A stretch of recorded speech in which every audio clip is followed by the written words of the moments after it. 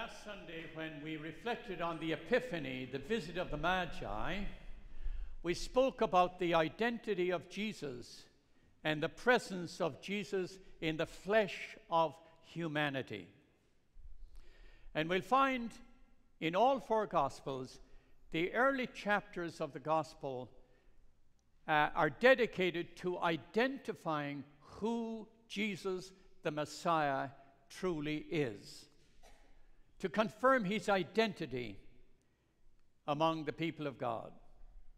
And we'll find that in our readings today, which we have um, the baptism of the Lord referred to in all four Gospels. And that first reading from Isaiah is important because it says, The Word of God is alive. And when the Word of God comes among us, it should not return empty it will not return empty. Therefore, somehow, the Word of God must have a living presence for us. It must have a meaning for us. It must somehow reform our lives, change our thinking, ask us to consider new ways in the manner in which we live. That is bringing the Word of God to life. So I'd like to take this uh, occasion which we celebrate in our liturgy, the baptism of the Lord, and to allow it to come to life for us in some manner. Which causes me to wonder how we define ourselves. Who gives us identity? The opinion of others, perhaps our success, our popularity, how much we possess of the world's goods, are these the superficial issues that give us identity, or is there something much deeper in the living Word of God? So I'd like to discuss for a few homiletic moments some reflections on who defines me and how do I see myself? How do I claim an authentic, reliable, and enduring identity as a person in the world. Reflecting on the re- baptism of the Lord, I went back and I recovered a book which I read many, many years ago, and I read more than once by Henri Nouwen. Easy to find. I have a Henri Nouwen section in my library. It's called Life of the Beloved, and it's the book reflects on the baptism of the Lord. And uh, in recovering this book, I read it on one occasion in 1992, and I wrote a journal uh, in the uh, dust cover of the, uh, of the book. And now, when I went back to visit it again, I found this reflection, and here is a little part of reflecting into my own identity, prompted somehow by a reflection on the baptism of Jesus, since our baptism is a ritual statement of who we are. The baptism confirms us somehow in a sacramental and ritual way in our authentic and our original identity.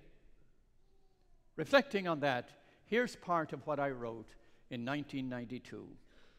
Reflecting on becoming the beloved I am drawn to consider my own journey of life.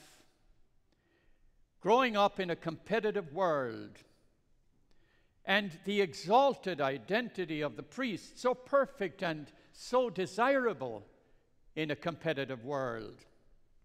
And in my seminary, winning honors was admired, to be an academic prize winner. And when it happened, I relished myself. And in 20 years at the Chancery Office, the halls of power, places of prestige, I played well. A world of doing the right thing, saying what was appropriate and acceptable, fitting into the system.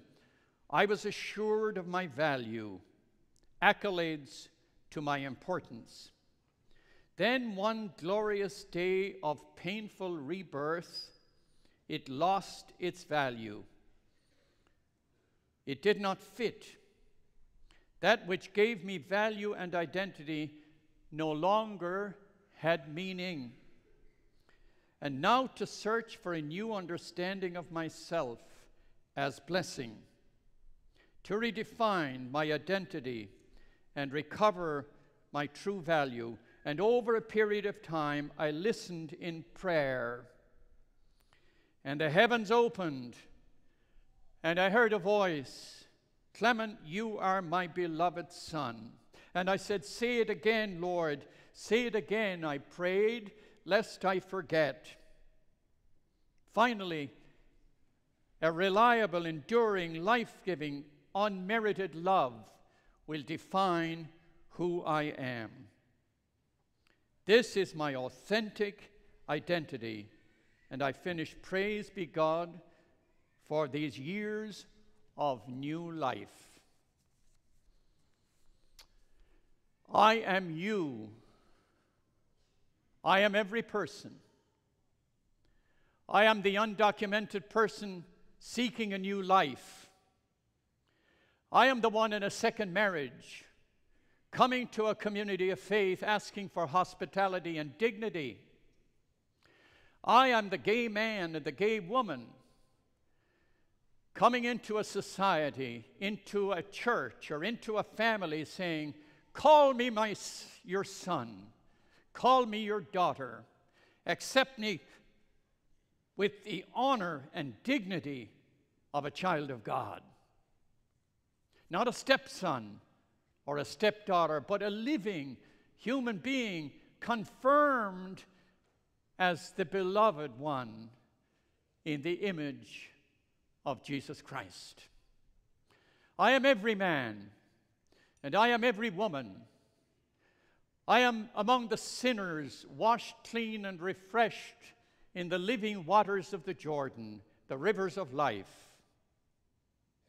I am the one who hears the voice of God saying, Whoever you are, you are a beloved son and you are a beloved daughter. Only when we have heard that voice, and only when we have listened sufficiently in prayer, only then can we truly call ourselves disciples of Jesus Christ. Until that time, we are relying on external and superficial changing and passing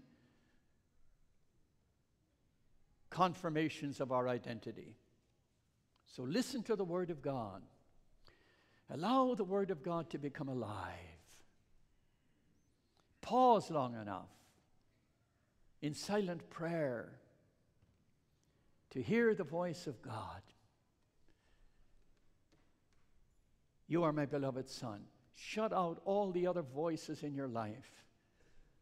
The voices that tell you you're not good enough, you didn't achieve enough, you are not important enough. You have to fight more. You have to merit more. You have to achieve more in your life before you become important. Listen to the voice of the living God saying, You are my beloved Son, and you are my beloved daughter, and my love for you is unmerited and unending. Amen.